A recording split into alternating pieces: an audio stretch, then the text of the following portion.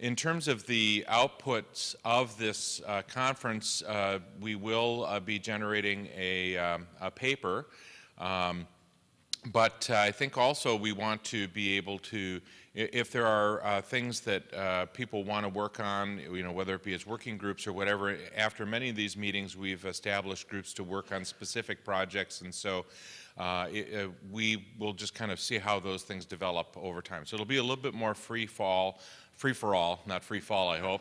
Um, still waiting for the coffee to take effect. Um, and so uh, the other thing we're going to do is that uh, Blackford and I are going to try and tag team uh, this uh, this morning, and, and, so we'll see if this uh, doesn't turn into an episode of Whose Line Is It Anyway. But uh, at any rate, hopefully that'll be worthwhile. So, Maybe, thanks. Mark. And you know, any allusions or jokes about Laurel and Hardy or you know Simon and Garfunkel or anybody, please keep those to yourself. Frick and frack, that'd be good. You know, I thought the conversation yesterday was incredibly rich, and uh, I appreciate everyone's time and interest and enthusiasm and uh, insight being offered so freely. You know, as someone who's been working in CDS for more than 20 years, um, it strikes me that actually when we consider genomic CDS, we may need to address many of the complexities and issues that have been inadequately addressed in CDS to date. So in a way, I see a greenfield, a clean slate opportunity. We may not get to solve everything, uh, but hopefully we'll have a picture of what the entire solution space, you know, would look like uh, for genomic CDS. And I think that may then back, back inform or, or fill in some of the deficiencies we have with the current state of the art in CDS, which is typically, you know, the cross-sectional one uh, encounter-based uh, alerts and reminders and all the resultant fatigue and uh, related issues. So we're going to summarize the discussions uh, in brief form. I think we have enough time to invite you to ask questions as we go. Uh, Mark and I will split this up, and if there are key themes or key points that are missed or overlooked, please uh, do jump in, and we'll aim to capture those as well. Yeah, so Jackie, uh, uh, I don't think we actually, so Rita or Teji, could you send a copy of the slide deck to Jackie? And so since we can't make notes on the slides, um, uh, then we can uh, uh, we can have Jackie do that uh, if we do want to make some adjustments. Thank you. Thank you. So Mark will be playing the Phil Donahue, roving in the audience and uh, asking you what's up, uh, and I'll I'll stick here. So you recall the objectives. We'll come back to this at the end when we try to summarize. But we wanted to compare the current state with the ideal state, uh, identify and engage U.S. and in, in, the international health IT communities that might be uh, interested in this, and finally get to this notion of the prioritized research agenda. I think number two um, has largely been accomplished. We had a, a, a you know a, a, variety of different uh, initiatives described, and potential engagement across these initiatives would be very exciting. It seems, in fact, like there's sort of an opportunity uh, at hand, sort of, you know, I don't know what to call it exactly, but it is an opportunity at hand where many forces are, are, con, uh, are the confluence of many forces may actually force the issue around genomic CDS in ways that hasn't happened for other types of CDS uh, to date. But the NHGRI and NIH funded projects like eMERGE and CSER, Ignite, of course, the work on and uh, newborn sequencing, ClinSeq, CPIC, uh, potential examples and initiatives to relate to. The IOM Action Initiative, I've heard just a little bit about. Uh, the ONC and AHRQ, CDS ongoing initiatives, VA, the CDSC, Health eDecision, uh, uh, uh, the work at the ONC to describe use case one, use case two for CDS knowledge representation at the ONC. The Open Info Button, Open CDS work, Ken Kawamoto and others have been leading the Smart Fire. Uh, that just sounds so attractive, actually, Smart Fire. Um, but you know, I think we could get some marketing uh, mileage out of that, and maybe others as well. You recall this, the key questions. I won't belabor these. And in number one, Dan uh, just gave such a nice and eloquent, as usual, overview of what sort of are the key issues and what might an ideal state of genomic CDS look like. And Dan described the ideal GCDS for users as being current, repurposable knowledge to different settings, health literacy and numeracy sensitive, providing explanations and recommendations, and learning and adaptive, that it is a closed loop with an assessment function that returns impact and outcomes and process change data to the knowledge engineers or the CDS implementers so they can update knowledge and make it more uh, appropriate and fine-tuned. Equally importantly, uh, of course, is the notion of what healthcare organizations need today. And they, they need a system or a system of systems which allows us to improve quality and reliability, tracks the GCD, uh, GCDS events, and follows up whether followed or not, and continues to uh, allow continuous local and national learning. And interesting questions were raised about operations research and clinical research, but the notion that uh, GCDS may have to span that spectrum, uh, I think, is clear and provide value to the healthcare organizations, which came up later in discussion in the ROI comments, as you recall. Building blocks, the notion of decision support packages, uh, knowledge packs is a word I've used to describe these before, but recognition logic for genotype and phenotype uh, in the EHR, the guidance, of course, for the clinician, the patient, or the family, recognition logic for the closed loop decision support. How do we take that outcome assessment of process change, quality change, cost impact, what have you, and feed it back to uh, update the knowledge uh, recognition logic and knowledge structures. We need authoring systems, of course. Ideally, these would be multi-author systems where collaboration could occur and consensus could be managed and uncertainty could be managed in the authoring environment. Uh, event monitors embedded within EHRs and PHRs to listen and look for those triggering events, which we had another rich discussion on. And then system generated alerts at the teachable moment, which may or may not be the same thing as the clinical decision moment, but both are related. And this logic uh, would be nice to be available to the clinician, whether he's perusing a record or actually seeing a patient. Automated tracking of outcomes and, and versus the user decisions, whether you abide by the guidance or not, is critically important to know and understand. And upload your experience to this notion of the CDS public library, the quid pro quo.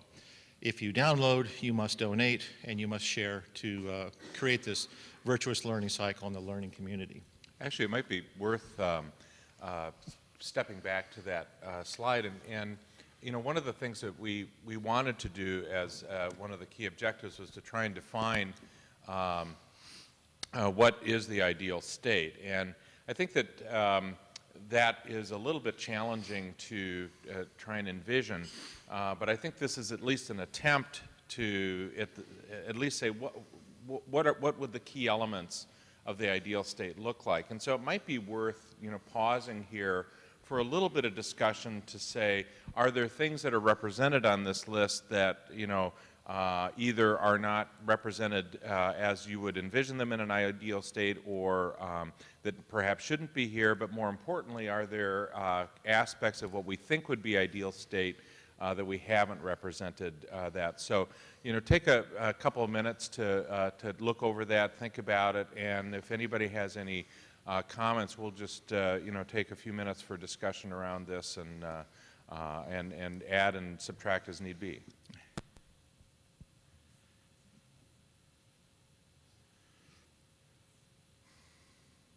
Terry. I, am wondering a bit what you're thinking would be the, the, the content of the upload of outcomes. Um, so, so would that be something that that could somehow be automated, that there are summaries of what happens, or is it for each individual in, in use of the CDS, or, or you know, and may, maybe that's a little bit too mechanistic, but I, I guess I'm not seeing how that could be made easy for users, and you'd want it to be really easy for it to happen. So ideally, it's something that the user is completely not aware of and uninvolved and has to take no action other than to do his clinical or her clinical course of duties. And the kinds of measures that are useful to upload include, you know, both the firing of the alert, well, recognition of the state that the alert could fire, the firing of the alert, the acknowledgement or not of the alert, and then a process or downstream measure of whatever the alert recommended, did you do it, and did it have a cost or quality impact? And I think that the, um, the question that you're asking then is, you know, uh, we know from um, the work that's being done in eMERGE PGX and others that the process measures there, the firing and the, and the actions in that can be very easily captured. And in fact, most commercial EHRs uh, with their decision support are able to develop those types of logs. The challenging piece is, you know, what happened to the patient and how do we aggregate data? And I think we heard Ken talk yesterday about some of the early work looking at how do we retrieve quality uh, measures from electronic health record data. Again, not requiring clinicians to somehow enter it, but to pull that there. And we're very, very early in our ability to do that. And I think most of us would think or say that the quality measures that are being pulled at the present time are relatively trivial and certainly not granular enough to really be able to track back to particular uh, decisions. But I think that we at least have the opportunity to begin to explore how uh, it could uh, move in that direction. So it's not an impossibility. And Dan, you, you want to um, add into that? Yeah, so I, I think the starting point here, sort of the null hypothesis to reject, was the um, uh, empiric discovery by eMERGE that if you use EMR data, you can find a combination of structured data, codes, labs, meds, and then NLP analysis of provider notes to identify a phenotype. And if you think of the desired uh, state of uh, responding to a decision support uh, um, intervention as essentially a phenotype, then you could reuse those same elements and just um, have a decision rule that basically says if the rule, if this event already occurred, if the rule did fire, now we're looking for this second set of codes, labs, meds, and NLP um, uh, description of some kind of state that uh, would be meaningful with respect to uh, responding to the rule or not responding to the rule. I have a, So does that, does that uh, address your question, Terry? Well, it does, but th- that to me sounds more like the, the kind of first stage of the process outcomes. Did they respond to it or didn't I? What, what I was a little more concerned about was the outcome. So, so, you know, how do you assess the, the impact? And that's hard for me to imagine how that could be automated, but, but again, maybe that's a bit more in the weeds and, and we could talk Well, about. th- This how we- is an area actually where the, the quality measurement, quality assessment world and the clinical decision support world really should try to come together. In the NQF work around the quality data management framework, you know, the whole vision was that we would, we would define kind of these atomic objects or subset or classifiers that could be used in numerators or denominators, whether it's on the CDS side of the coin or on the quality measure side of the coin. That connection is, is rarely, if ever, explicitly drawn. And of course, the measures, the actual measures aren't the same, or the cohort definition in CDS does not exactly equal the quality measure definition, but they should be related. So I've got JD and then Chris. One thing to think about with respect to closing the loop for the, the outcomes data of using the rules is to look at that like we, like we view public health data today in terms of infection control, what have you, to say, okay, every HR system can then provide a download of their rule activity based upon the content they were using to feed back in and close that loop long-term. Second thing with respect to using all of these quality measures is to feed CDS work. That came up at the AMIA meeting a couple weeks ago, and how we've got this HIPAA logjam in between those two to help get all this great research that's happening over on the quality side, over here to be used on the research side. Yeah. I think those are both uh, uh, very good points. Chris? It really gets into what is the definition of your Lego piece. Um, When we did SHARPn, for example, we recognized that clinical decision support, quality metrics, cohort identification uh, were, at the end of the day, all effectively cohort identification. Because quality is a numerator and denominator, they're both cohorts. Uh, And decision support is, it is for whom the cohort, or for whom the rule should fire, what is that cohort? Uh, In the context of getting interoperability, consistency, and scalability, ONC, I think, has started to recognize that, for example, their uh, Health eDecision, which was based on the virtual medical record, was dissonant with their uh, view of what uh, H query, health query would look like. They, they were working with different Lego pieces. That, in turn, of course, was different from what was happening in meaningful use with CCDs and the like. I think if this is going to generalize, uh, the community really needs to have a consensus on what are the data element pieces that we can agree upon, and from there, assemble quality, assemble decision support, assemble various logic types. And the leading candidate this week um, is the partnership between CIMI, the Clinical Information Modeling Initiative, and FHIR, which is a physical implementation of effectively that logical model. but I, I think we're not going to make a whole lot of progress uh, in these kinds of building block idealizations until we have agreement on the fundamental units, molecules, if you will, of the underlying phenotype characterization. Chris, I couldn't agree more, and I guess one thing I'd throw out is to think about the CIMI work and FHIR work and, and the work that predates it just a little bit, but is still ongoing, and Betsy, I think, is in the room, you know, with the NLM Value Set Authority Center. You know, when we were building the CDSC rules, we found that we were creating value sets all over the place. Everybody does the same thing. You have to define a diabetic, that cohort with a specification, and if we don't agree upon that specification, we're, we're, you know, we're stuck, as you say. And I wonder, you know, is this part of something like the Value Set Authority Center, or is it something that in the library there are atomic building blocks which we d- use in our authoring environments to do either quality measures or CDS specification? Betsy, do you want to uh, uh, respond to that since uh, uh, Blackford kind of put you on the spot? Well, I didn't regard him as putting me on the spot, but um, obviously, if we decide on what the building blocks are, then uh, we will need repositories of the building blocks. And we, NLM has initially been focused on the value sets, and we are now, um, have done some prototyping work on the next up, which would be the sort of common data element part. And as we know, a variety of uh, organizations, NHGRI in, in the lead with PhenX, have, have looked at common data elements, and there is work ongoing to sort of look at, across these different efforts and see if we can bring the NIH groups um, uh, to uh, greater agreement across them, and I think that that's possible.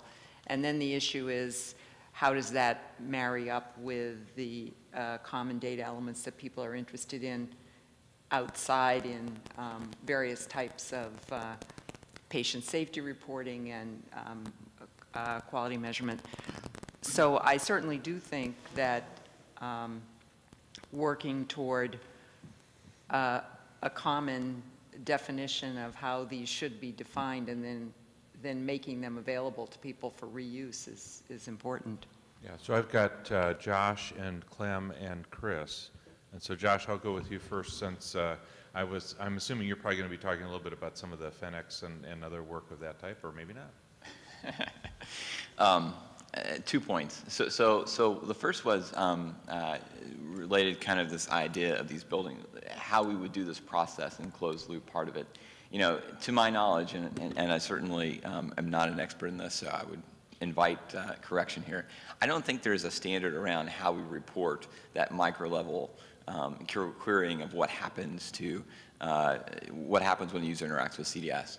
So I don't think these are queryable elements in sort of NQF uh, formats or HL7 or that sort of thing. I think everybody has their own thing. So, so even the sort of ability to aggregate up and do that would be, you know, would be hard today. Um, you know, a lot of movements have obviously been done around the quality um, forums and, um, and how to get quality metrics. And I, I was just going to say on that, and re- regards to value sets and that sort of thing, that you know the, the way you define these things depends on which circle you sit in. You know, in eMERGE we want very high, accurate, precise phenotypes, and we don't worry as much generally about getting great recall. A lot of the quality metrics don't necessarily worry about having a PPV that's quite so high, and, um, and, and, but you know maybe want more recall. And and a systematic way of approaching it that can be applied across many systems is more preferred. So so you know it's it's interesting when you think about the value sets as we've done work with value sets and representations using HQMF um, uh, via uh, compared to eMERGE phenotypes that that you'll you'll look at the same problem different ways. And and I don't think that's necessarily a problem. I just think it's something to be aware of well, a couple of things. It smells a little bit like the exceptionalism that uh, we heard about yesterday when you make this a separate thing, recognition for genotype, phenotype. You know, it's just finding patterns in the record. And of course, the phenotype is just a general way to say everything you want to find in the clinical record. It's, and it's fairly ill defined. Uh, and I think the element that you'll find in records now is closest to an OBX. It's the part of CIMI, the little element within CIMI uh, but there's panels in, in records, which might be analogous to what's in CIMI. And if, and there, there's issues then, so that's, you'll find that in every medical record system, these little things with name value pairs, which says this is a diastolic blood pressure, this is the result of the prothrombin, you know, bad uh, mutation. Uh, And those things can be aggregated with logic. So I think we have to be careful about putting too much into, Uh, locking too much into the building blocks higher up, but having a good logic that can put them together. It's sort of what Chris was talking about, because it's the same thing looked at many ways, and if we make subsystems that are all different, no one will be able to support it. Now, there's a second question, is trying to standardize the elements, these little bitty elements that are in all these records, across records, and we've tried to do that with LOINC. Uh, this- The common data elements is another activity, especially for research kinds of things that aren't always found in medical records, to do the same kind of thing. So I don't know if that helps, but Yeah. Yeah, and, and I think that, you know, clearly some of the things that we've been uh, um, uh, looking at in terms of uh, assembling phenotypes from, uh, from more elemental particles as opposed to starting with the phenotype and then building off, because again, we see these things that we, you know, like blood pressure and weight and that, that are present in so many of the different phenotypes. So, so to have a library of those that can, you know, be pulled, I think is, is one of the things that, you know, could make this potentially uh, easier. I've got Chris and then Lee and Can I just respond to Clem quickly, too? Uh, It's a- a great point, Clem, and I, you know, I'm I'm reticent to jump headfirst into the quicksand of the curly braces uh, problem. And for- for those of you who aren't informaticians living in that world, this is where local representation has to somehow be mapped to a, a, a standard form. And I think that there's an implementation detail here that might be, you know, able to move beyond the curly braces problem with sort of an edge, you know, edge uh, uh, case and and whatnot, but we can come to that later. Okay, Chris, and then Okay, I have uh, three points, the first two dealing with, with dogs and tails. Uh, For those of you that know my career, uh, I, nobody could be more committed to vocabulary uh, than I have been. Uh, And uh, value sets, of course, are, are the best thing since uh, the dawn of uh, something. Um, However, Stan Huff has taught me, uh, much to my chagrin, uh, that the value sets are the tail. And the dog is really the clinical model to you, which you bind a specific value sets. Value sets without context are meaningless. And the, the context is defined by those micro models. So in the CIMI and FHIR stuff, it's value sets that are bound to those structures that become relevant. And those are the things that should be curated and, and met. Uh, having value sets without any binding to a model is, is a, a purposeless exercise. So it's value sets are the tail. The second thing is this relationship between data elements and research, be it for genomics or cohort identification or whatever, and uh, standards and other relationships in um, clinical practice. It's my, it's become my mission to try to persuade the research community that they should give up making uh, data elements and that they should adopt the data elements that are being created in the clinical space. And if they don't work, have the clinicals underpinning clinical standard changed to accommodate the research use case rather than make research data elements. Because it is inevitable that we will have a dissonance between a research perspective on clinical data and a clinical perspective on clinical data. And if we think about ACOs, if we think about quality management, if we think about all those things, they're really research methodology applied to clinical data, albeit not necessarily for a research use case. And the, the underlying physical structure should be identical. Finally, Josh's point that, you know, we can't all aggregate things similarly today because we have different baselines and structures. I could not agree more. However, that's not where we want to be. And to the extent that we can define a common API, to the extent that we can make, if you will, all EHRs at the end of the day black boxes that will respond similarly to queries and inquiries, uh, ideally premised on something like a CIMI-FHIR uh, query model, then it doesn't matter that we have uh, differentiation within, uh, because if they're using the same common elements, if they're using the same query interfaces, that is the evolutionary state we have to aspire toward. Uh, and I think it would be a lot easier if the research community were to partner with the clinical community to define what that state might be. thanks, Lee. Um, I, I want to make a point of um, the, uh, in the first point of uh, uh, knowledge representation, I'm wondering um, whether the, the report, um, for example, interpretation of the uh, uh, genomic results on the report uh, should be also part of the knowledge representation uh, because I see all the elements you put here right now, though, still uh, are trying to standardize the terms in the EMR. But what I'm saying, interpretation of those um, genomic tests, those things should, would that also be a part of the standardization as well? Yeah, I think that's a, a very good point. Um, and so if I would maybe, and so Jackie, uh, this would be for the fir- first bullet, add a sub-bullet, and I'll just kind of frame this on the fly as uh, um, uh, uh, uh, representation of genetic and genomic results and, um, um, and uh, related to the LIMS or uh, Laboratory Information Management System or something like that, because we recognize that while we use the overarching term EHR, um, those of us that do this know that the LIMS and the EHR frequently don't play well uh, together, um, and that's uh, that is an issue. So I think that that would be uh, would be worth adding. I wanted to, to uh, just scroll back uh, for, for just a bit. First of all, Terry, um, I'm sure you're really glad you asked your question. Um, given that you were avalanched under a, a, a, a volume of, uh, of, acronyms, as we just so love to do. Uh, but I think uh, that was really a key question because to me that really talks about something that there is considerable passion uh, uh, about around the room, and in some ways I think is very helpful from a prioritization perspective. So, um, with that editorial comment, any other, um, uh, uh, Ken, reflection? And apologies for being late. I was putting out a work fire all night. Um, just to, and apologies if, if this overlaps, but just responding to what Chris said about um, the models are where it's at and do not overlap work. I'd say having worked in, worked in standards development a long time, probably worse than having no standard is different but similar standards.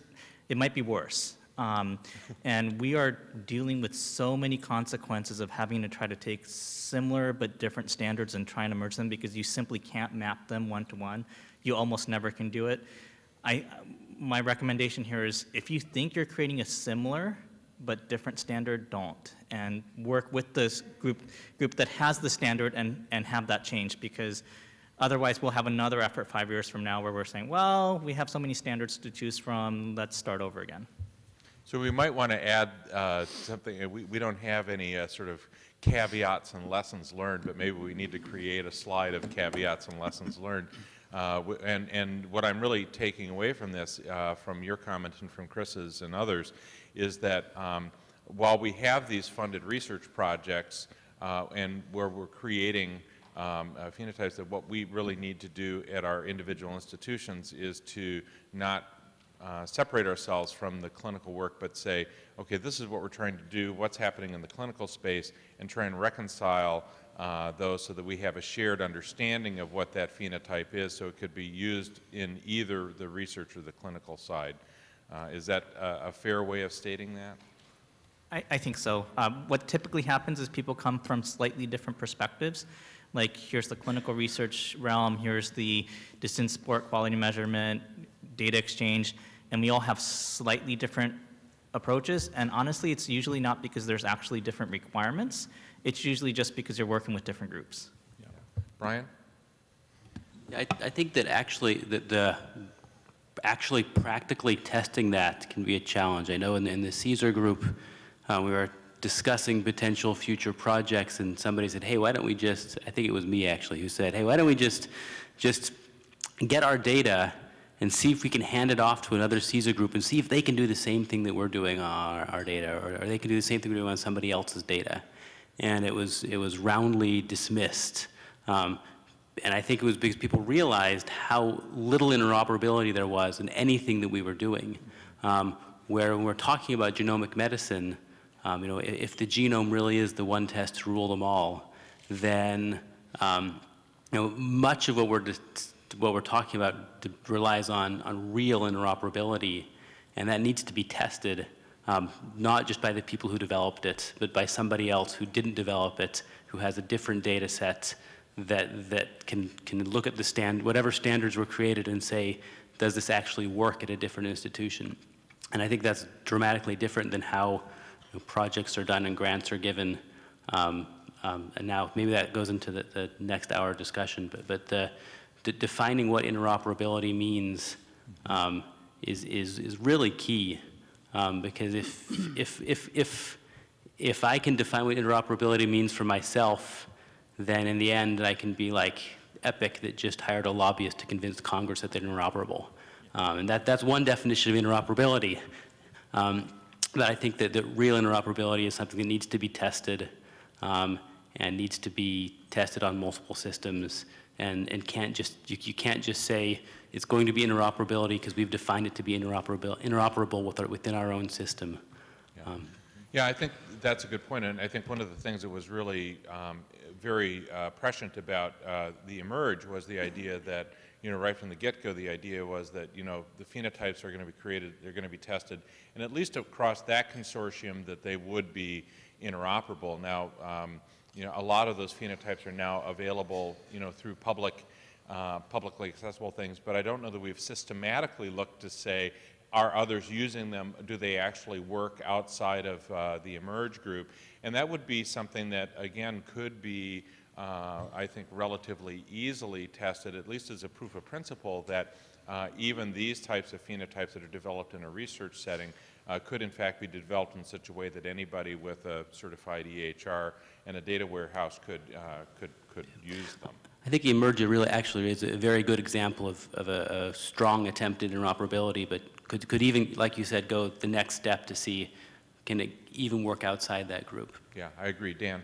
Well, So uh, to carry on with, with eMERGE and respond to Josh's comment, so it seems to me that the major opportunity and/or blind spot, if you will, in phenotype specifications are things that would be kind of intermediate uh, physiological states. So you have a rule to reduce the risk of uh, renal insufficiency due to antibiotics or something. So you have to be able to recognize is uh, renal function deteriorating.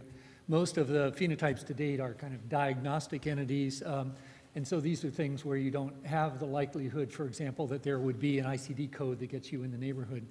Um, but with respect to the idea that eMERGE was not was not worried about uh, false negatives, right? So you were trying to go for high specificity, positive predictive value. You didn't really worry about the ones you missed.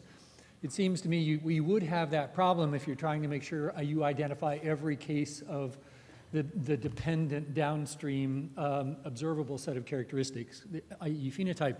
But it's kind of healthy in the sense that what it does is give a conservative bias to the interpretation of the impact of the rule, right? Because it may be that if you can't find the, the salutary effect that breast cancer didn't occur or the patient lived, um, uh, that what, what happens is it's interpreted as, as the, the rule having less effect than it really had for almost all of those cases where you miss the, you miss the, their false negatives. In other words, you don't find them, but they actually were a good outcome.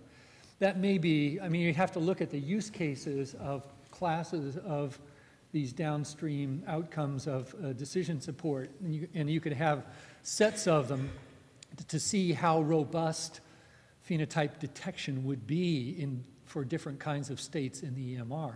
But it's a kind of a nice research problem that extends the work of eMERGE, which was at the level of diagnoses in most cases. Sue?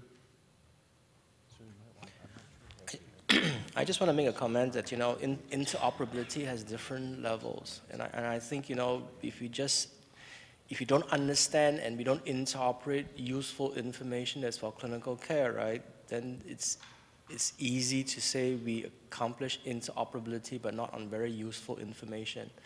So I would hope there's a separate discussion or there's some discussion in terms of what's useful information that we should exchange for the care of the patient, especially in this area of genomics. I think in, in the EHR, it's quite simple that we try to exchange everything.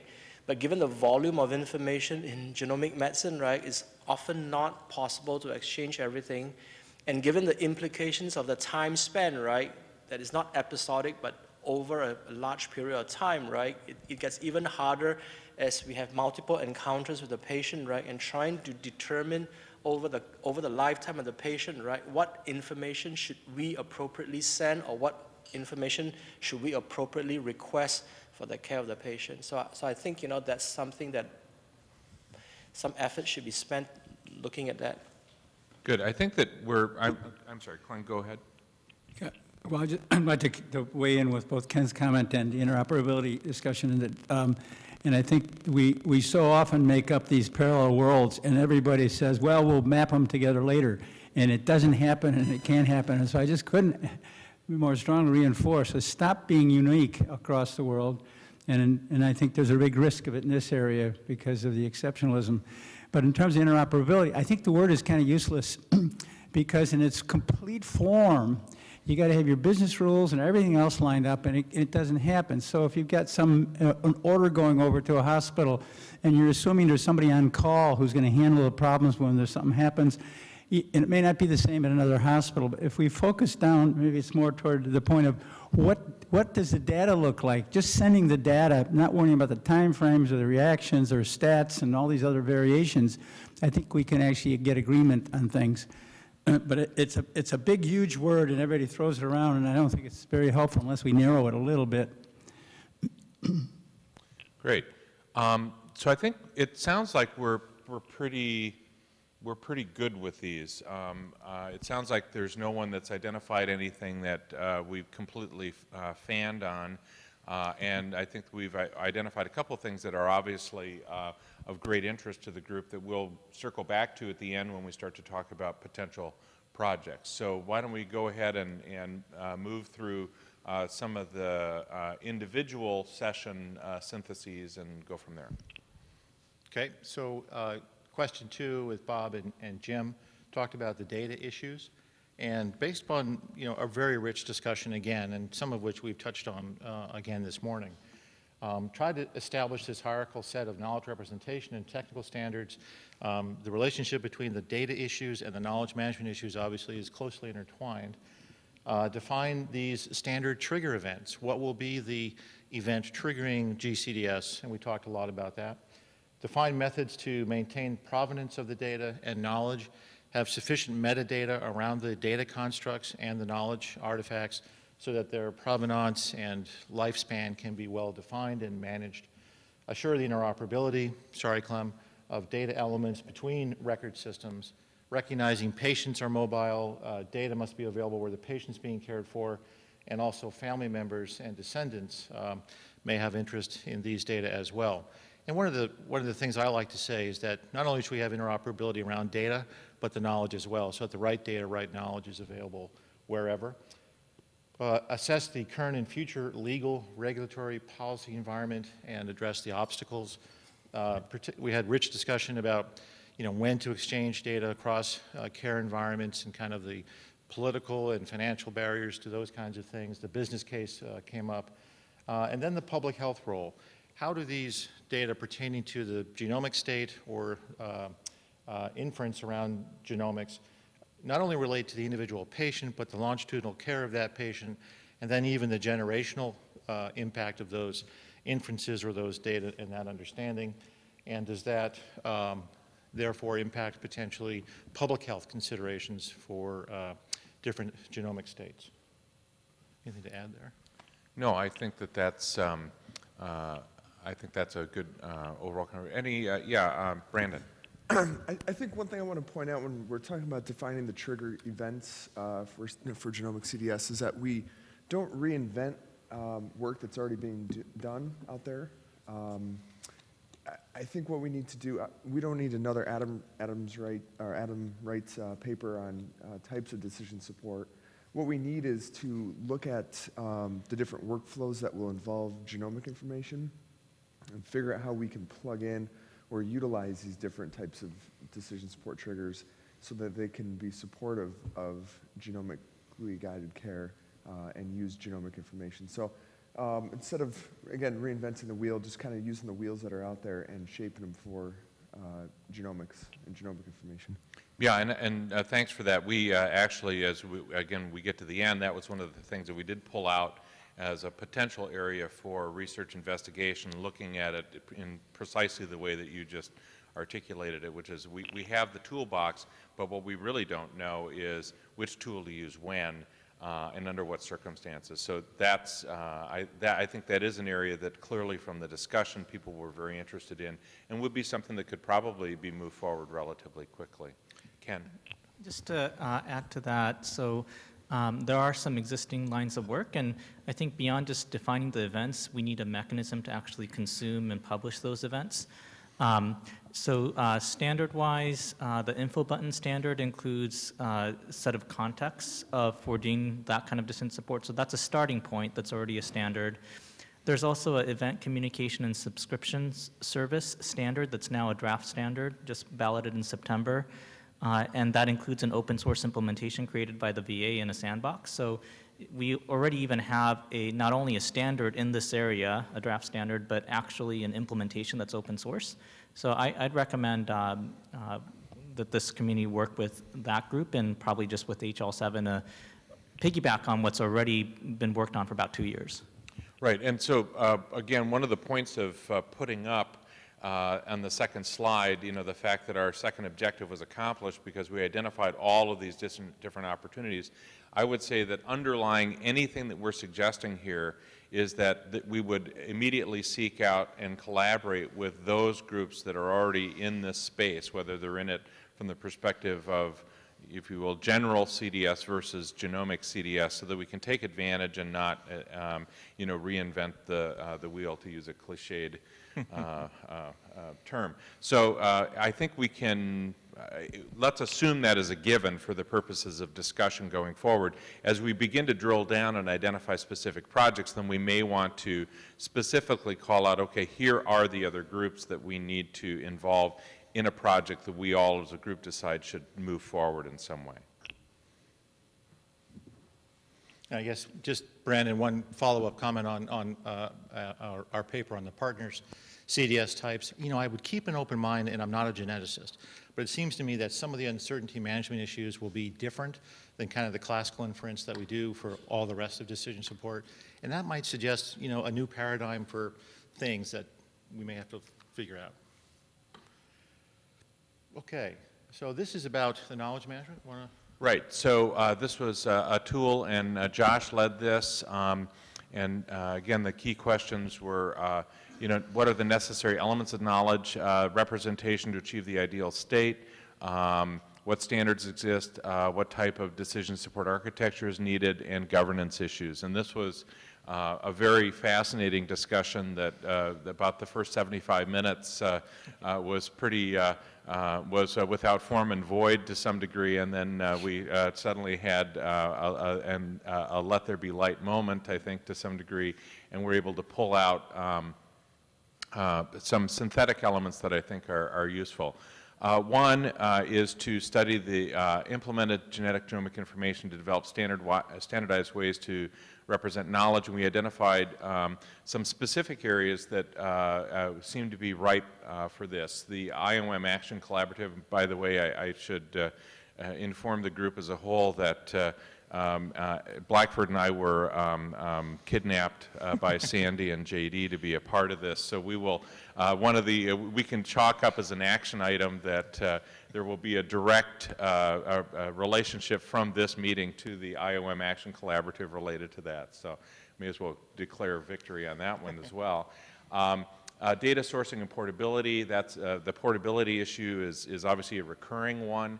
Um, uh, the, uh, the, representation of uh, AHRQ and ONC, uh, given that they're standing up for immunizations, uh, a national CDS for immunizations that'll be able to be consumed by any certified EHR, and the invitation uh, that we received to say, hey, if you have a few uh, genomic CDS use cases, you know, let's see if we can put them up there and see what happens. So I think that's a really interesting opportunity.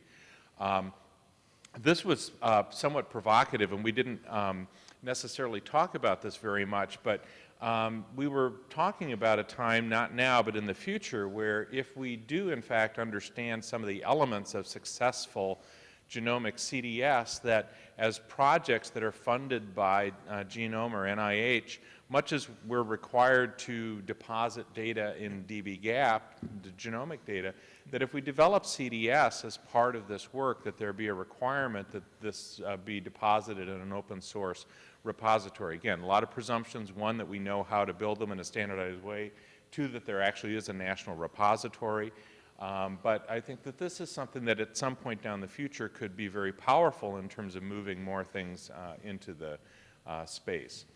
Um, there was a lot of interest in the idea of wh where do the data come from? Um, in traditional genetic testing, uh, from panels, from direct-to-consumer testing, but I think that there's a recognition um, that more and more we're going to be having data that's coming out of exomes and genomes.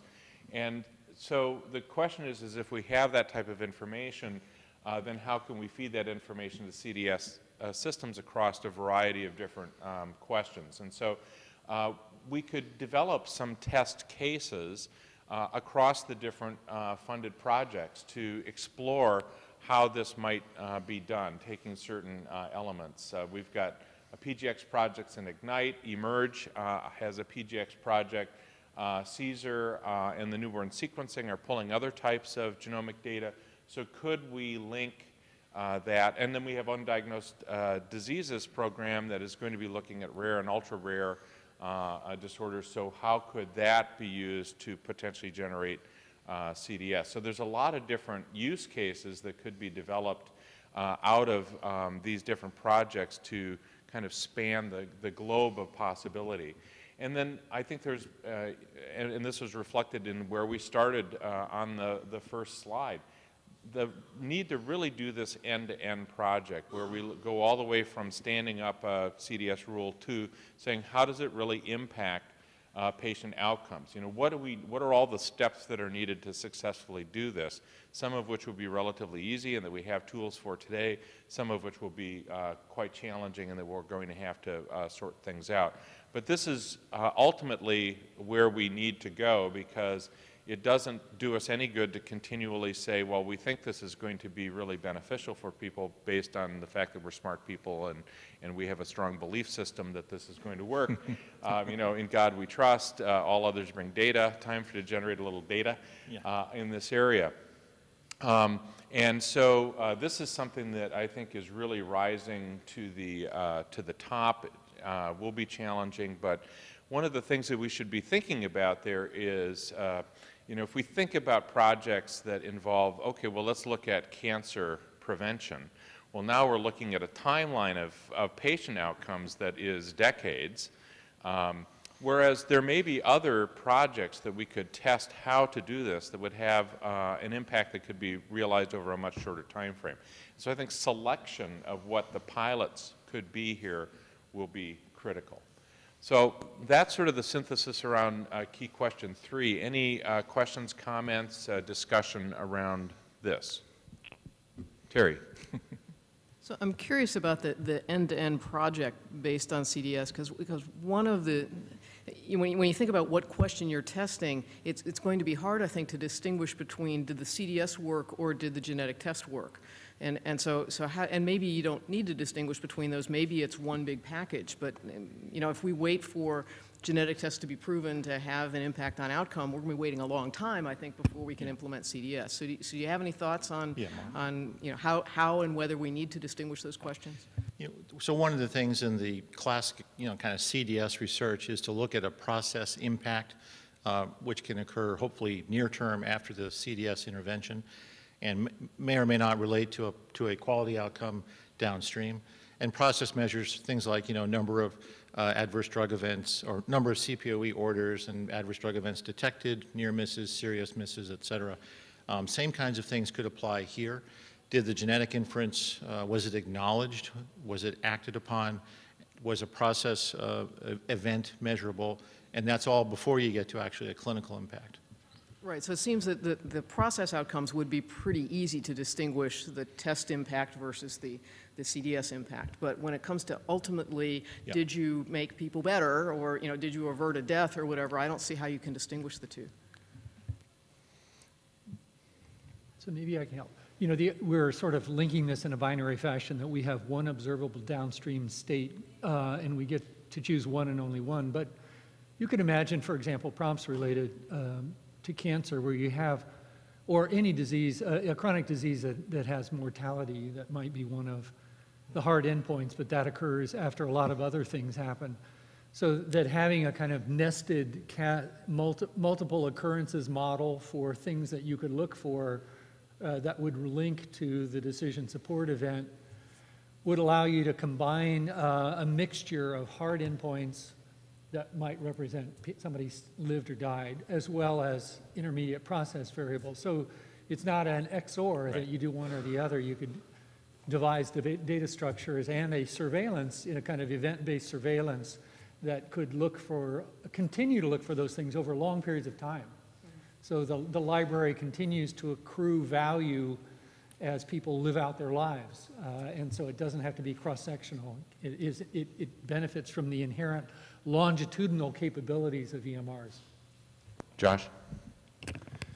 Yeah, I just wanted to uh, say that it's really important to not only measure process outcomes, but understand why people take particular actions, because the reason there may be outcome differences uh, based on particular genetic variation is often dependent on the, the uh, potential confounding by indication at the point of, of taking an action. So you have to understand both phases.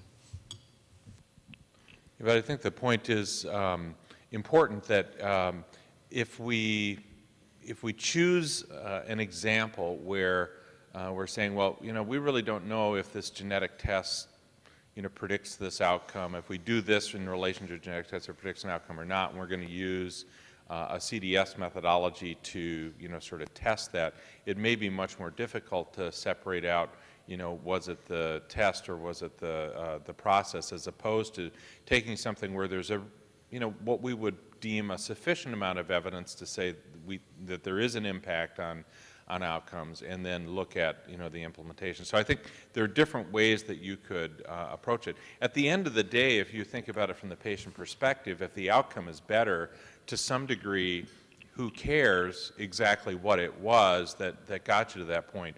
Um, and that's in some ways, a, in a very superficial and, and somewhat uh, pejorative way, the difference between quality improvement and research. In research, the question is we really want to understand precisely why we got the outcome where we got, whereas with quality improvement, we're more about um, uh, making the system work so that we get the outcomes that we want, and we're less interested in what different components of the system contributed to that particular outcome. Paul. It's likely already planned, but in that end-to-end project that you're suggesting, um, that would be a great way of determining the standards and knowledge standards, that sort of thing.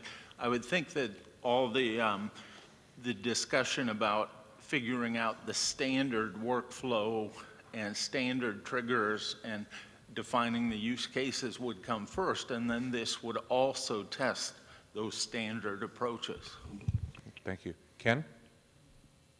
I, th I think um, uh, just a note on the confounding of decision support with the, the genetic testing.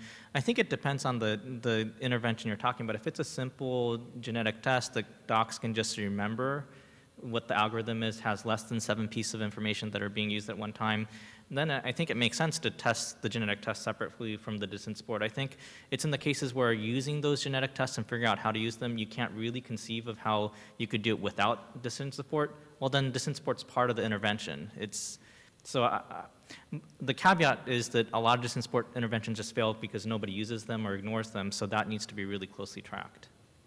And I think if we, if we had the capability to really track whether or not it was, it was followed, then you could disentangle, you know. At least you could say, maybe this failed because people didn't follow decision right. support. On the other hand, you, you could say it failed and we, and they perfectly follow decision support. Then you go back to your genetic yeah. test probably doesn't make a difference. Yeah, no, you're, you're absolutely right about that. And that's why, uh, as, as Dan, I think, pointed out, it's critically important to capture all of that information because then you do, uh, you are able to learn more rapidly. I'll go to Dan and then Jim and then So Josh. I still think actually uh, when, when you class these outcomes, you may have the ability to infer causality. it was the decision support alert that caused the favorable downstream. But, you, but even if you can't uh, establish causality, it becomes essentially a kind of biomarker of, of process, and, and that if that when the decision support was associated with one set of factors that caused perhaps a favorable set of outcomes, but, but you may not be able to assign causality directly to decision support. In a sense, I'm still happy, right? Because, because it, it, now you've, you've been able to measure things and, and know that i even if it's, if it's not directly the, the, the CDS was directly the cause of the favorable improved relative to people that didn't you know, follow it, then uh, it, you, if you, you're still in a good position of having been able to do a kind of health services, services research relative to quality. And so I, that was a long-winded way of saying, I think getting un, uh, unduly hung up in, in having to establish a clear causal relationship between the intervention uh, in or, before we believe it's uh, useful and valuable is probably holding ourselves to an unnecessarily high standard for whether we've made the world a better place. Although it may reflect the fact that uh, um, our uh, payer friends tend to hold us to that standard that sensitizes us. Jim?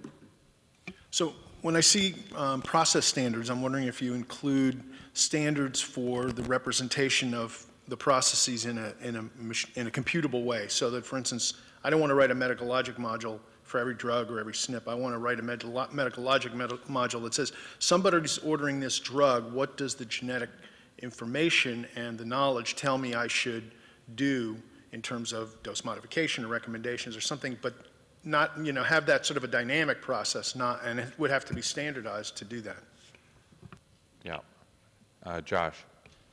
Yeah, that's, that's a really interesting point. I, I think it remains to be seen in some ways how much we could generalize it. I mean, I think it's, um, and it also gets to the idea of all these external knowledge bases like PharmGKB and things like that that aren't necessarily held in a computable format, but they could be, um, and what the future applications could be. Uh, right now, if you look at what happens within Predict, I mean, they're all specific things carefully worded for every drug genome interaction, which is, you know, obviously not scalable if we think about all the potential things we eventually could learn. Eventually, it could be like drug-drug interactions. The other thing I was thinking about, just kind of building off what Josh and, and Dan had been saying, um, you know, so, so, the specific case that Josh was talking about, if you, uh, and, and, yesterday uh, we talked a little bit about uh, if, if you look at, for instance, and predict over a course of time, about 55% of people that are poor metabolizers um, on clopidogrel with uh, CYP2C19 poor metabolizers get switched to an alternative agent. But if you, you know, but, but there are known contraindications to prasugrel, which is the drug that's been around the longest for there. And when you remove those people with, that are older, have had prior strokes, things like that, you know, that number is closer to 70% get switched. And, and what strikes me about that particular story is um, the, the fact that the EHR has the information within it to answer the question as to why people didn't follow the decision support, the, you know, recommendation. And, and um, I, I, think, you know, the cool thing about the potential for doing this kind of closed loop process is as you accumulate um, decisions, you can look at what associates with those decisions in a more automated way and, and build up, you know, temporality metrics as well as diagnostic metrics, you know, demographic metrics.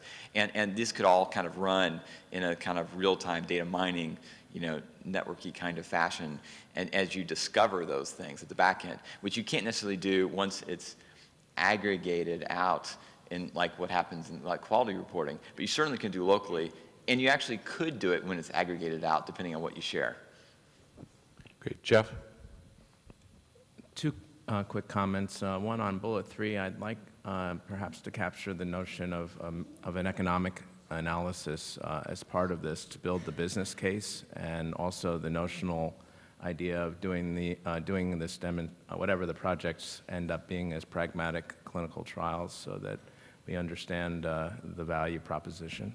And on uh, bullet two, I, would like to expand the suite of of potential areas to include cancer, which is not really represented in, in that a series of projects, and, and also infectious disease, the uh, notion of microbial sequencing for diagnosis is important. And thirdly, uh, things like risk stratification through family history. Okay, so Jackie, I'm going to give you some specific, so for the bullet three, uh, add economic um, slash business and pragmatic trial methodology. And then to bullet two, um, uh, add, uh, um, can, I- can I, could I expand that to somatic uh, uh, sequencing? Yeah.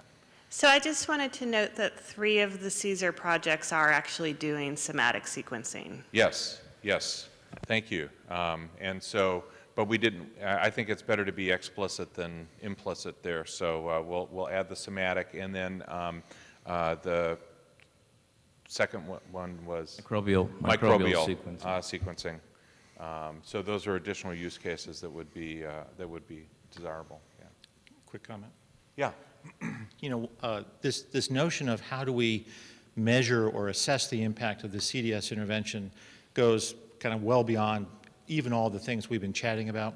Certainly, the IOM report, uh, Building Safer Systems, described the socio-technical context, environmental, training, uh, physical, uh, as well as the EMR and usability issues itself. So one notion is, do we really want to treat the EMR as a black box? Or do we wish to define sort of the standard instrumentation that would apply to each and every EMR and define kind of these outputs that we need for these kinds of analyses?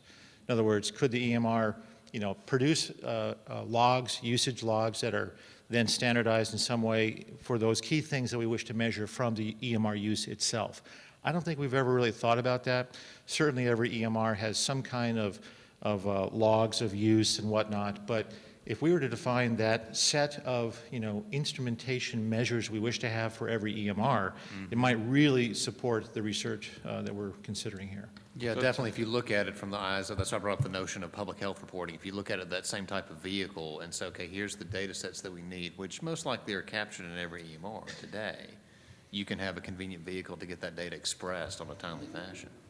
So let- let's, uh, Jackie, let's add that, it's not, may not be most appropriate to be on this slide, but just so we make sure we uh, uh, uh, capture it, so it would be standardization of. um, EMR process Of measures. EMR processes. um, Measures. Measures, pr- E- EMR process measures. So, Casey? Um, I just, uh, so I really like the idea of going from end to end for some of these projects. I think what we'll find is that, um, is that there'll be a lot of, unstructured data that we'll be interested in to, to, that'll need to be structured. So maybe engaging the NLP community in some of this so that we can get at the data that we need to trigger the decision support. And um, I'm not sure if this falls under the data issues or, or under this uh, knowledge management. um, Yeah, and I think that, um, uh, that, that's a really good uh, point. I'd probably, just for a placeholder, just, uh, Jackie, add that to the sub-bullet under uh, bullet three. You just say um, unstructured, uh, um, study of unstructured data, something of that nature as a placeholder. Mark and then Ken. Thanks, Mark. Um, Couple of things. The, the logging systems in EHRs are primarily for troubleshooting.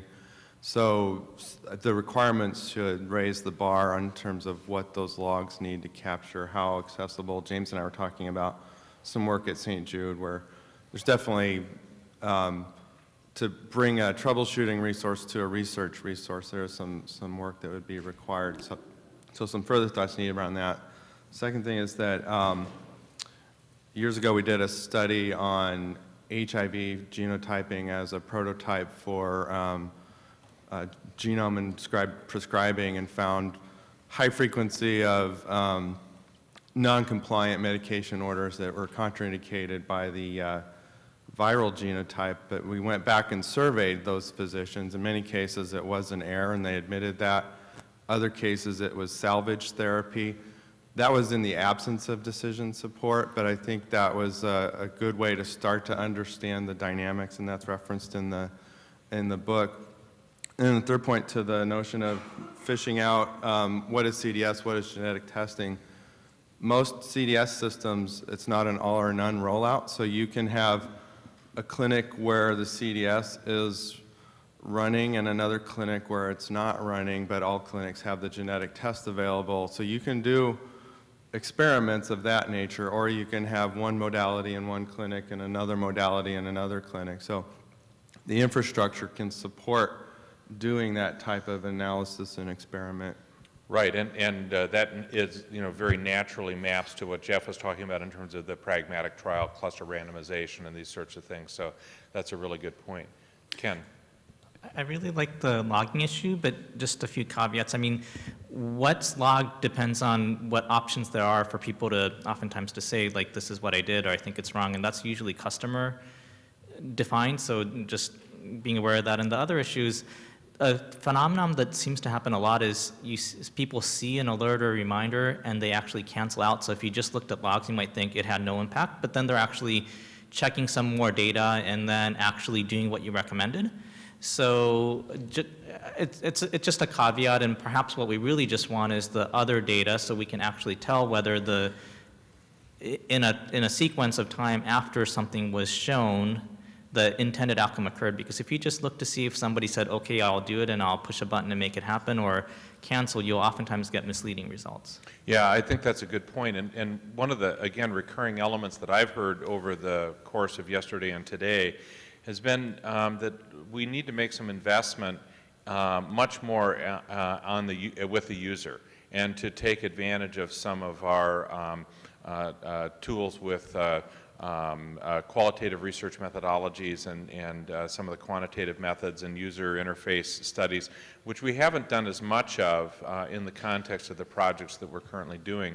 But look at the targeted audience and then you know begin to understand how they're thinking about these. And it's, it's a pretty standard practice in, um, uh, in uh, EHR research. It's just we haven't done it as much in the context of some of the genomic uh, projects that, that have been done. And that is something that also we move to um, uh, sort of our last slide about you know, more overarching projects that could uh, be taken away. Clem? To the, to the, the first point about having standardized processes for what the computer is doing, I think that's the right direction, but I think what I've heard is we really want standardized or some minimum set of data captured per event. And then the process of how you analyze that to discern what the process will, will be inventive things that people will figure out. And recognizing that you can't get everything you want. Um, And then uh, the idea of doing parallel studies has been my a pet thing for a long time, if not randomized. And it is possible, especially because rollout usually is, is in waves. And I think we ought to think hard about it because it solves a lot of the problems of some of the other realities. And the third thing is decision support usually doesn't know everything it needs to know. So one approach is to say, well, we'll make the physician put it in, and of course, then they get home at midnight instead of 11:30 at night, and so there's a reaction. Uh, And so the systems really have to build something like nursing gathers this or that if you really want these things to hit it on the nose. We only had one study that was a 90% penetrant, and that was the one where the infectious disease guys collected all the data re- related to MRSA, and it was perfect, and everybody knew it was perfect. But anything else was less than perfect, and so we got 50, 40, 30%, you know, responses. Great. Uh, why don't we move on to KQ4? Um, so this was uh, implementation issues. Uh, Ken and Casey uh, ran this group.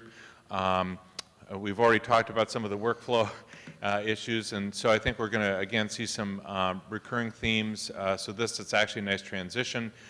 We talked earlier about um, when Brandon brought up the idea that we have different approaches.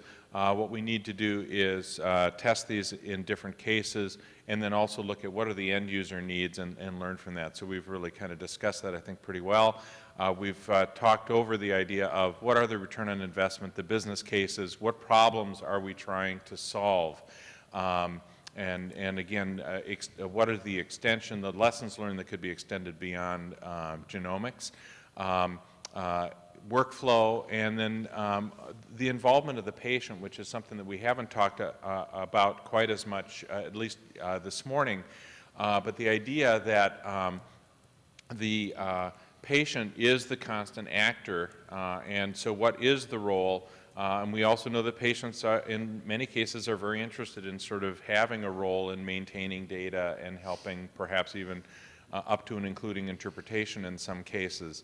Um, I think that that leads to some really interesting opportunities, and, and it's uh, been my observation that we're beginning to see some synergies between the NIH and PCORI. There have been a couple of uh, RFAs uh, that have been jointly issued from like National Institute of Aging and PCORI around patient-centered projects to answer some key questions.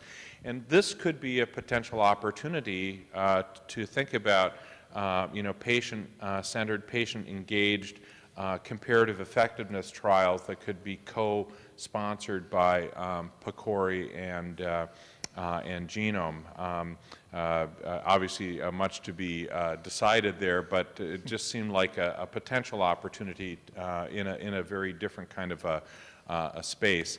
And then a lot of discussion um, yesterday afternoon about the idea about wouldn't it be nice uh, to have uh, this sort of developmental certified EHR environment and toolkit or sandbox.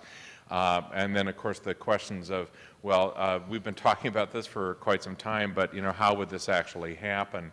Um, but uh, it, it, clearly was something that I think there was a very strong endorsement about the idea. Uh, so it seemed worthy to bring forward for, at the very least, inclusion and uh, discussion. So uh, questions about the synthesis of key question four. Ken?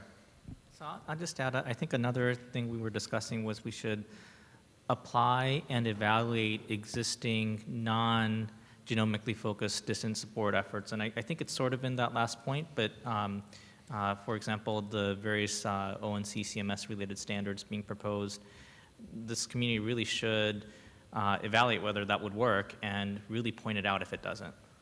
Okay, so, so I think we can represent, that's probably worthy of its own bullet, uh, and that would be, um, uh, I would characterize that as evaluation of existing uh, CDS standards um, uh, to test um, uh, their feasibility it within genomic use cases to basically determine do they work or are there gaps that need to be filled. Alex? I'd like to mention there was the dual use uh, item uh, to be discussed during the implementation. In other words, the utility of genomic data for research purposes and how the dual use will be implemented. And we discussed uh, two levels of quality. One is validated data, which is clinically actionable, versus uh, uh, larger amounts of uh, data that is of lesser quality, but still of a high enough quality to be used for research purposes. Okay, so we'll, we'll also represent that. Um, Comes up, I think, later. Okay, so it, it, it is somewhere. we just looked at these uh, about 30 minutes before we started talking, so I, not, I, don't have perfect recollection of all the slides. Dan. So one, uh, we were, I was trying to look for the, uh, the announcement of the new BD2K centers, um, but, but they're sort of uh, envisioned as being topically interdigitated with, with a range of um, issues related to data that may, may include things like patient-acquired measures and yeah. devices and, and such that, that would be a natural alliance for providing uh, a state-of-the-art platform for doing um, CDS at scale, so to speak, both inside clinical environments, but also at the PCORI end of patient kinds of things. Yeah. They're, they're not announced yet. Okay. The first set That's of, why, that's why I couldn't find it on the that's why you can't find them. Uh, Okay. They, they will be announced uh, very shortly. Okay. Great. So Jackie, maybe uh, going back to that early slide where we talked about all the different potential partners that in that NHGRI, NIH funded, just uh, specifically add BD2K uh, as an explicit um, part of that parenthetical grouping so we don't forget to look. Explicit question mark. okay. There it is. Go ahead. So the uh, next one, we, in the, in the overall synthesis after the discussions, we tried to pull together the rich conversation and, you know, identify kind of the key research areas. And we list them here, and on the next slide, we'll try to tie them back to the uh, uh, fundamental key questions. So the business case has come up several times. It's, it is something relevant to CDS in general, and therefore uh, GCDS, I would suggest as well, in all the ways that have been described. Uh, get an understanding of the clinical epidemiology of genomic practice and decision-making current state so that we can make assessments of what the delta would be with implementation of GCDS. Uh, Work through these standards issues at the multiple levels that have been described, from the terminology, uh, data, structures, knowledge representation, uncertainty management, and uh, the transaction layer. Um, No one actually did address, except a little bit at the very beginning, kind of what would be the um, ideal presentation layer standards, and that's something we might want to add to this list, is presentation layer. You want to add that, Jackie? Um, We've talked about where, what does the CDS, CDS engine fire off of? Um, A lot of You know, I just, I realized looking at that, that uh, it's not nearly literary enough, and and Chris said something earlier. I I think it should, for whom does the CDS toll? Or something like that, it should be what we, how we should, rev- then it doesn't end in a preposition as well, so, you know. That sounds any- much more like Chris. I think so, yes. So for whom does the CDS engine toll? Um, Working with HL7 and under, and- and other uh, efforts underway has been discussed. This idea of a demonstration project, but ideally, it strikes me that we're going to need to do a couple of things in this demonstration arena. One is think about laboratory design, evaluation, and assessment from the whole spectrum, and then field uh, assessment, as Wyatt and Friedman like to say, you know, so we can get as much understanding as we can in laboratory assessment before we go into the clinical environment and begin to test uh, these tools. At the same time, collect best practices from CDS implementers. People are doing this across the country in different ways in different states. I mean, states of, not only states of where you live, but states of implementation. And uh, we talked a little bit about the role of public and the public health, public's health, uh, this generational issue, screening issues, and portability and interoperability. Sorry, Clem.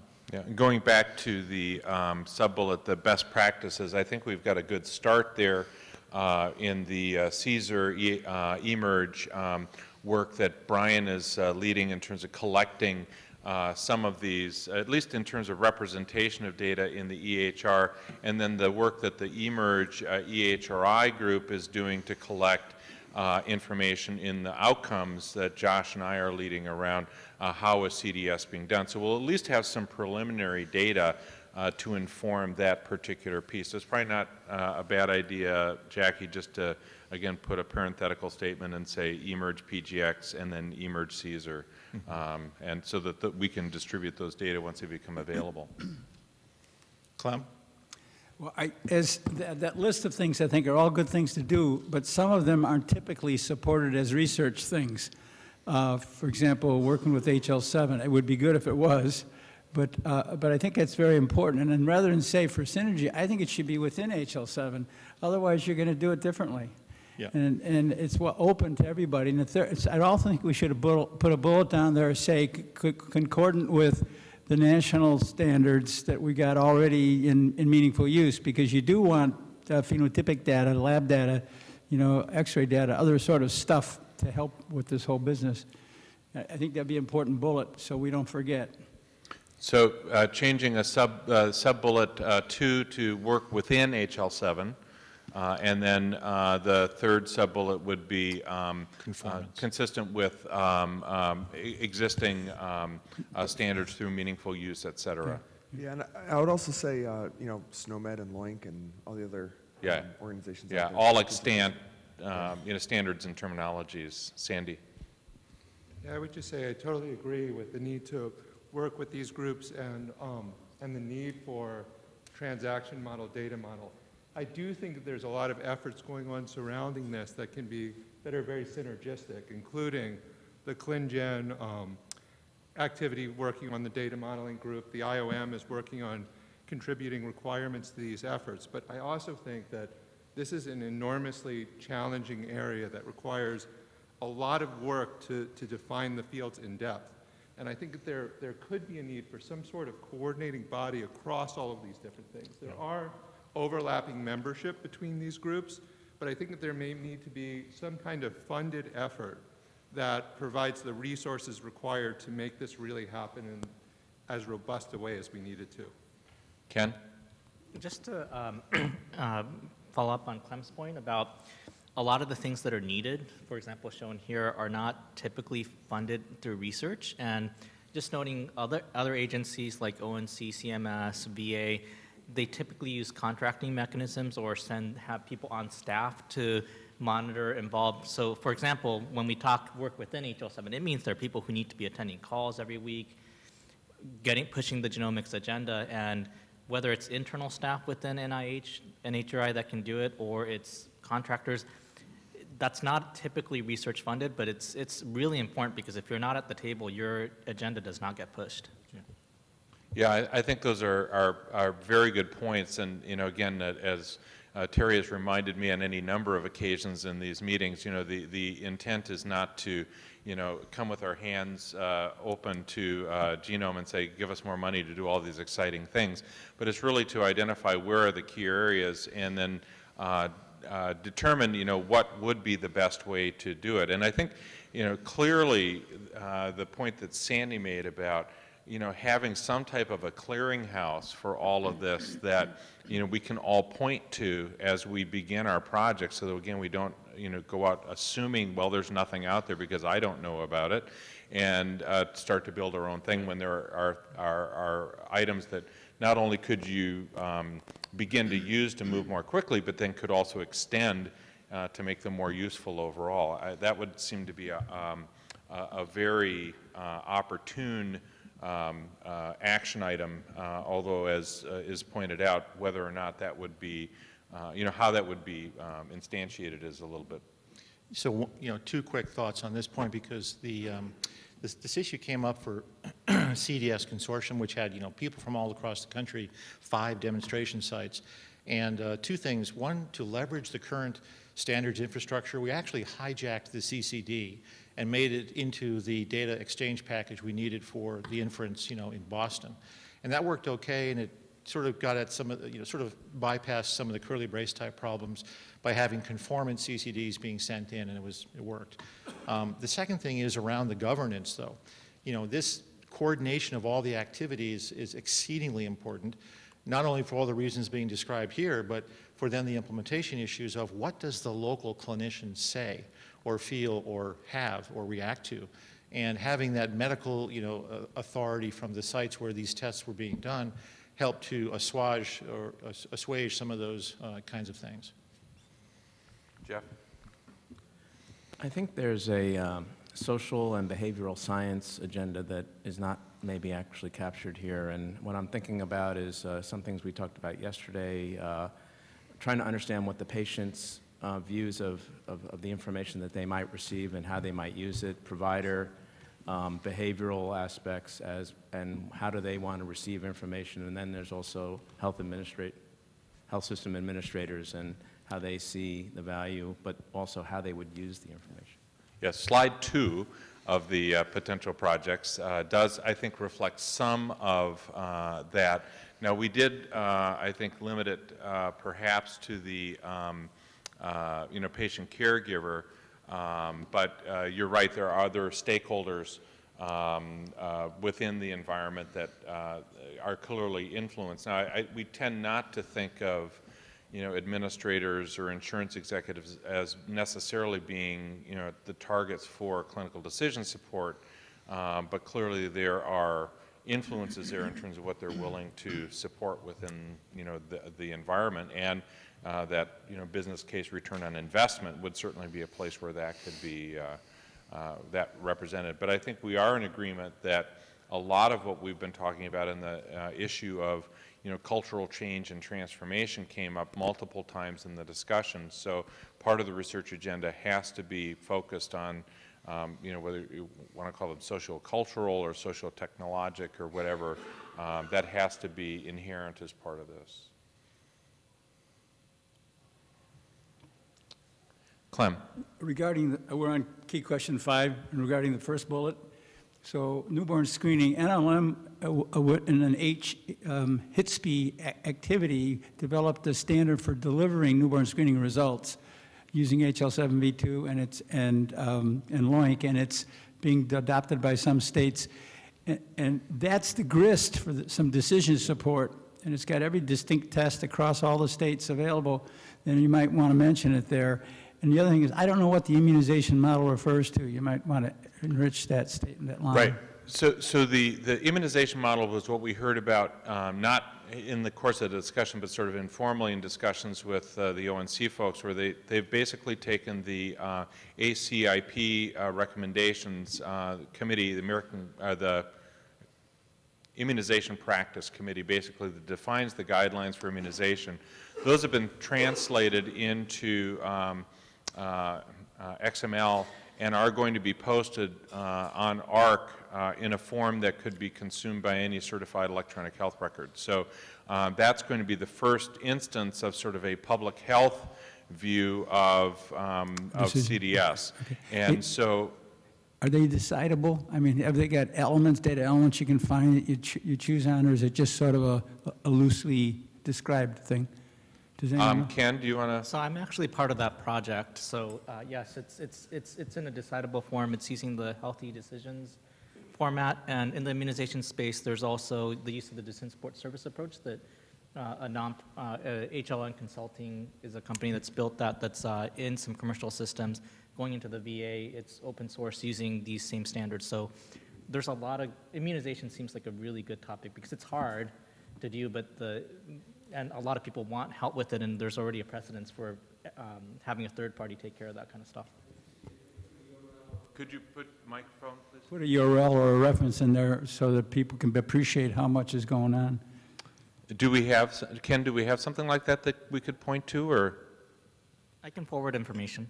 Okay, that'd be great. So uh, we'll just make sure that Ken uh, distributes that. I mean, again, the reason that I put that on there is because essentially that's a road that's been plowed. Um, that um, you know we've been invited to say, hey, give us your you know you're tired, you're hungry, you're poor pharmacogenomic uh, uh, CDS that you're working on, and we'll try and stand it up and see if it works. And so one of the things we heard consistently is we need some early wins to that we can actually test uh, rather than waiting seven to 10 years. And I think uh, particularly uh, among eMERGE PGX sites where we, we could easily select three things where we've got good evidence and we have groups that have built the CDS and implemented it, uh, that we could really take through this in a relatively rapid fashion. And that would be, I think, pretty, a pretty great learning opportunity and, and, and, and pretty exciting as well. Paul? Thanks. Uh, It occurs to me, similar to what eMERGE 3 does with having its own genotyping site and its own RFA for a genotyping site, and all the centers that would get that would deal with that site. When you get to the end-to-end test, rather than ha- having every CDS site that might participate in this national sort of genomic network, you might carve off and say, let's have an application for the variant knowledge management, a single variant knowledge management, a single CDS uh, knowledge management, and then the sites that actually do the end, end CDS. And that could build up some standards, and that would mean that the, those knowledge management systems are, are um, motivated to work with all the sites in a standardized fashion.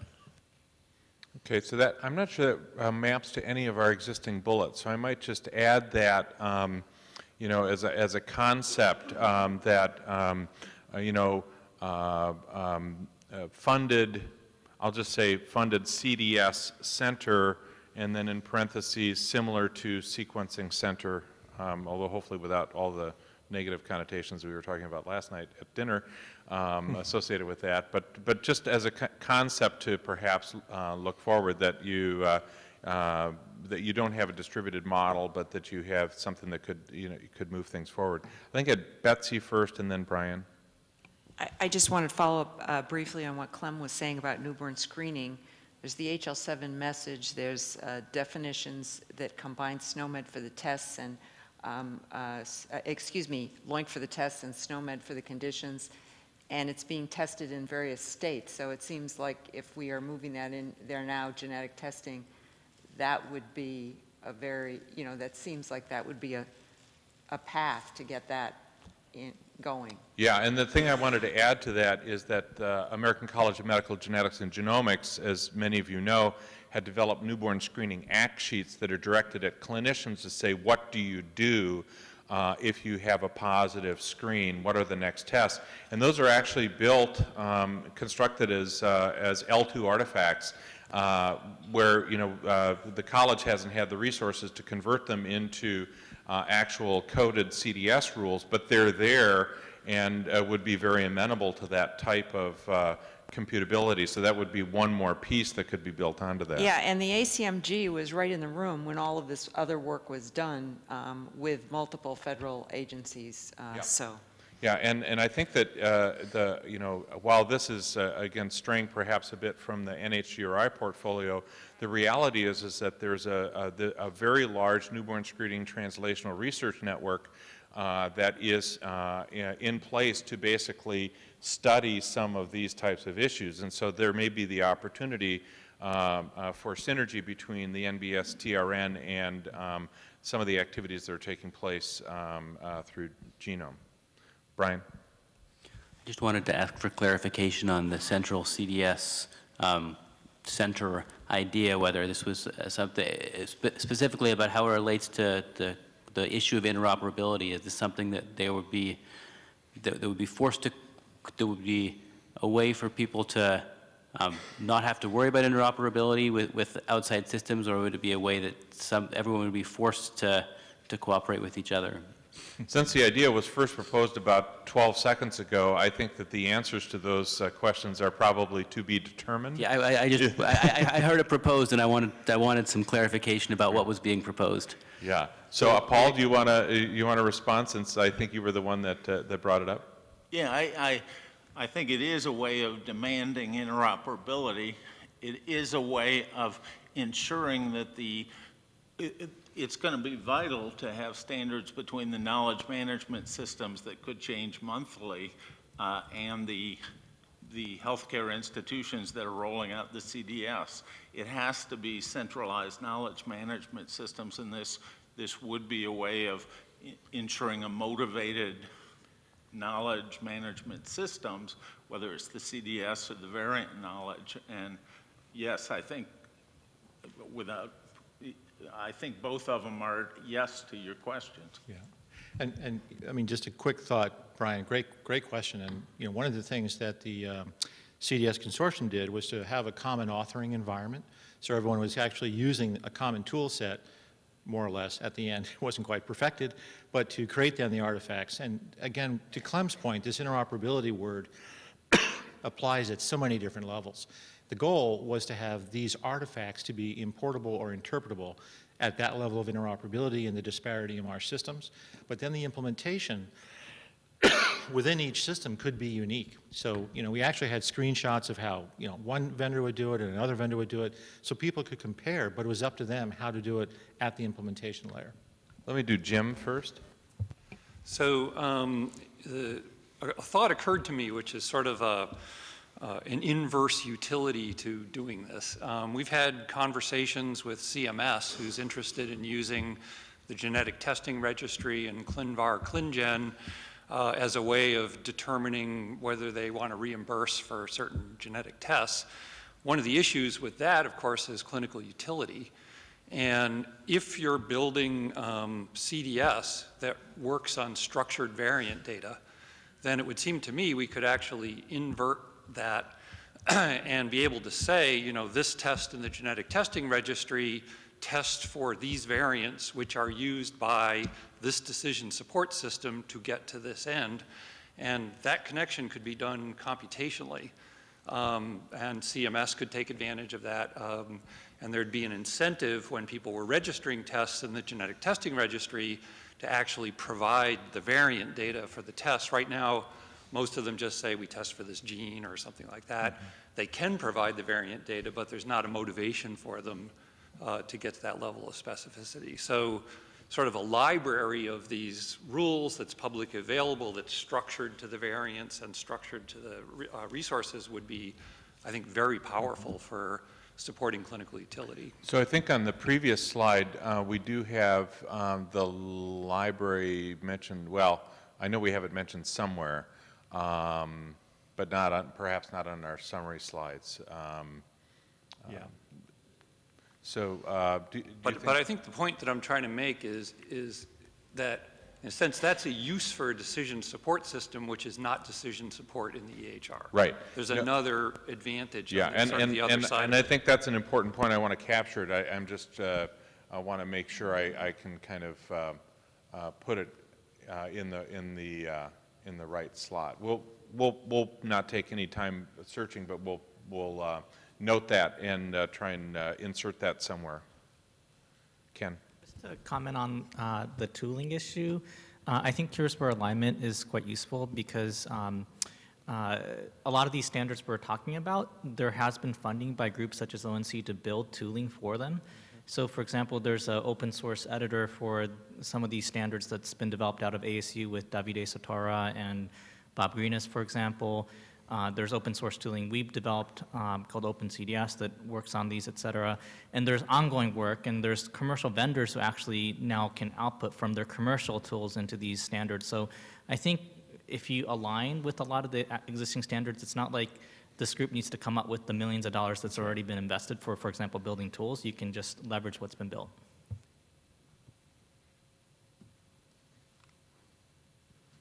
Uh, yeah, Jim? Back to the first bullet. Uh, Were you intentional in picking abacavir?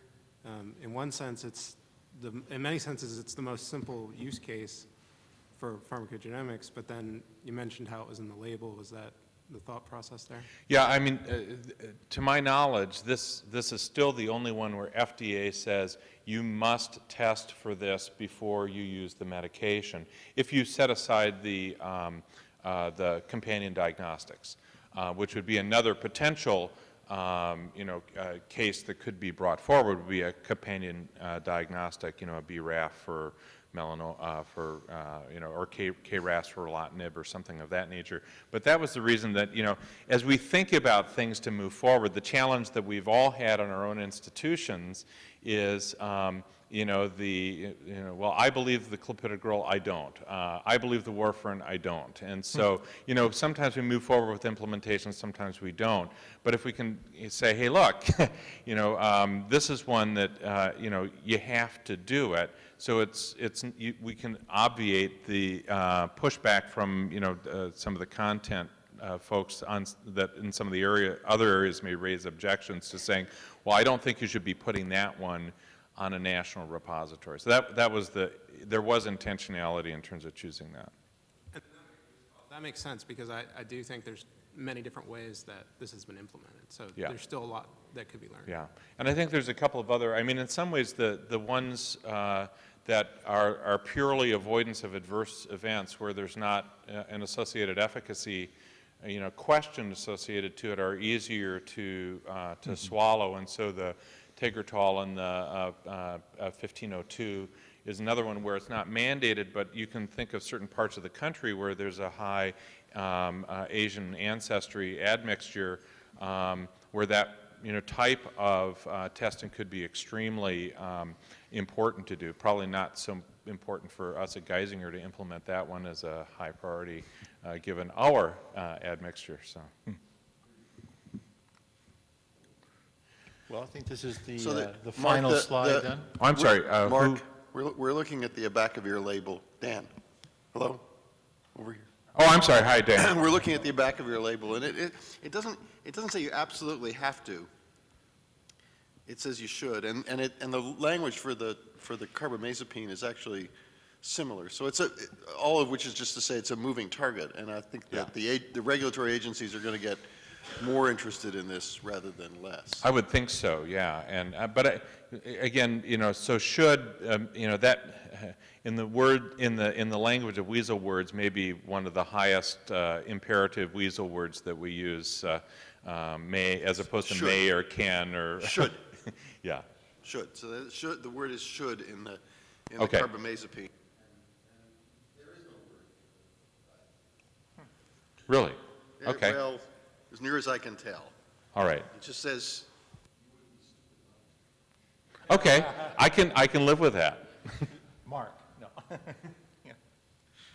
Good, okay, so All thi- thi- this is, uh, we we thought, um, you know, just since we were focused on the key questions, that we would try and you know, do a mapping exercise. I don't think we really need to spend a lot of time on this. We've had really good discussion to this point. Uh, But this is just sort of our sense of where um, the topics that we talked about, the potential research topics that we talked about in the prior two slides uh, would map to in terms of the, uh, the key questions. And so, um, you know, the first key question is clinical decision support, an essential element in the su- successful implementation of genomic medicine. We talked about the idea that we have some use cases that we could move forward with relatively quickly, and that could, uh, in fact, inform uh, an answer to that key question. Uh, we spent a lot of time on the data issues, and a lot of the projects relate to some of that. Uh, same with knowledge management uh, and implementation. And then uh, I think what we're going to do for the rest of the time is to go back to those um, uh, two slides that preceded this slide and spend some time on each of those projects uh, to uh, take the temperature of the room about um, your sense of prioritization and to talk a little bit about uh, the logistics of how that uh, might take place. So what I'm going to propose, um, I- we are actually, uh, our break was scheduled from 10:15 to 10:45. Um, What I'm going to propose is that we actually move our break up and that we take our 30-minute break from now until 10:15 and then do um, uh, all of our uh, prioritization uh, when we come back, and then basically uh, end uh, either when we think we've discussed everything sufficiently or uh, at our uh, hard stop uh, at 12:30. Uh, So there's a certain incentive, perhaps, uh, to um, uh, be efficient and, and get our work done early. That I don't know if it would be unprecedented in uh, one of these to actually get out a little bit early, but uh, we could certainly uh, uh, target that as a possibility. Any, any objections to that? Is that going to be problematic uh, for any of the logistical uh, issues? The webcast folks, anything like that? Okay, hearing no objections, then we'll um, reconvene at 10:15.